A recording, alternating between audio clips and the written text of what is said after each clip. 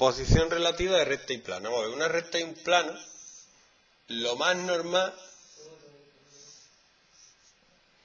lo más normal de la vida es que se corten en un punto. ¿Vale? Va el plano por ahí, pasa la recta, se cortan y adiós muy buena. Ya no te vuelvo a ver. ¿Qué, ¿Cómo puede ser? Pues la recta podría ser paralela al plano. ¿Vale? ¿Y qué tiene que pasar para que la recta sea paralela al plano? Sí. Tiene que pasar, si yo tengo la recta aquí que es paralela a este, fíjate que el vector normal del plano tiene que ser perpendicular a la recta.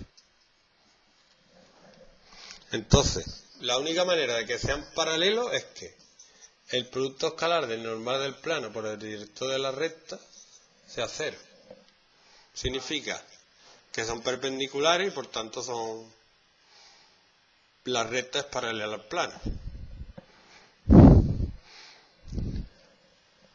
El otro caso se cortan en un punto. A ver si nos podemos inventar un plano, por ejemplo, uno facilito. X más Y más Z igual a cero.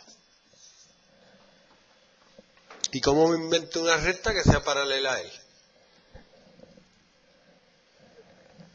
¿Cómo me invento una recta que sea paralela a este plano?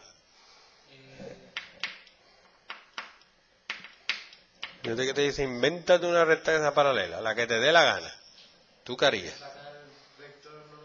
El vector normal sería 1, 1, 1. Y lo que tengo que buscar es un vector director de la recta que sea perpendicular, es decir, que el producto escalar de este por este sea cero. Sí, 0, 0, 0 demasiado. Este sería... no, no me gusta. Sí, vale para todo, pero no, no me gusta. Yo qué sé, 1 menos 1, 0. Producto escalar de esto por esto sería 0. ¿Vale? Entonces, y me invento un punto por el que pasa. Este es el vector directo de la recta. Y para que sea paralelo me invento un punto que no pase por este. O sea, que no esté contenido en el plano.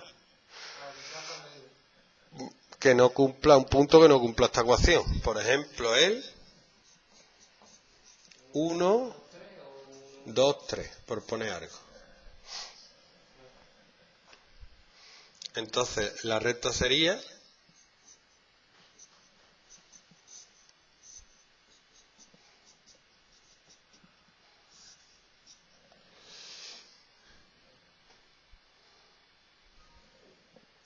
uno menos uno, cero,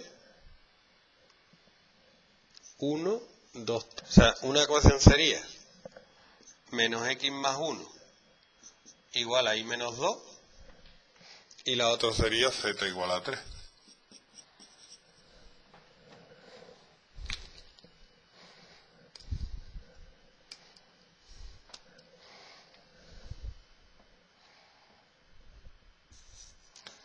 x más y menos 3 igual a 0 y z igual a 3.